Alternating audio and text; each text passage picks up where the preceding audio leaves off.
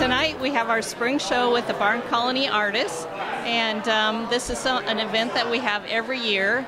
The Barn Colony is uh, was started in 1939, so we have a long history in Decatur. And you might wonder why is it called the Barn Colony?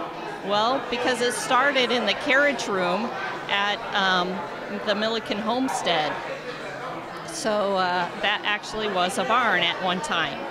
But now we meet down here at um, 125 North Water Street to um, help people learn more about how to do art. We have um, acrylics, we have oil paintings, we have uh, pencil drawings and pastels, we have photography, and there's also um, some pottery that's uh, made by a lady in Decatur who's blind and she's been doing this wonderful pottery for quite a few years.